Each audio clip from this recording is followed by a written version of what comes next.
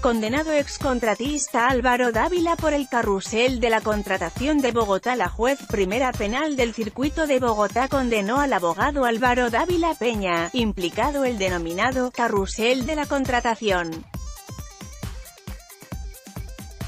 Según la delegada de la rama judicial Dávila es responsable por el delito de concierto para delinquir, cohecho propio e interés indebido en celebración de contratos. Se espera que el próximo 26 de julio se conozca el monto de la pena, contexto de la noticia.